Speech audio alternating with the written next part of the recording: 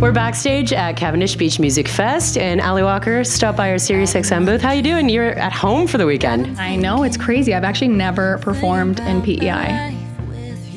What about something uh, you guys have kind of picked up from her on the road? Something that you want to learn from someone like Carrie?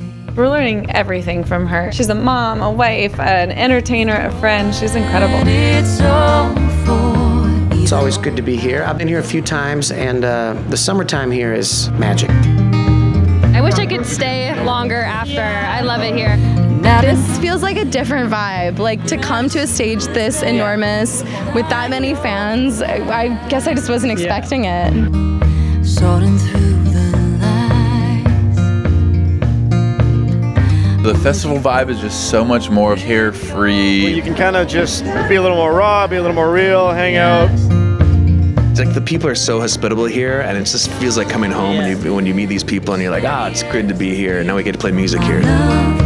We're pumped to play tonight because we haven't been on this side of the border with Single Man uh, very often, so we're really excited to see how everybody responds to it here tonight.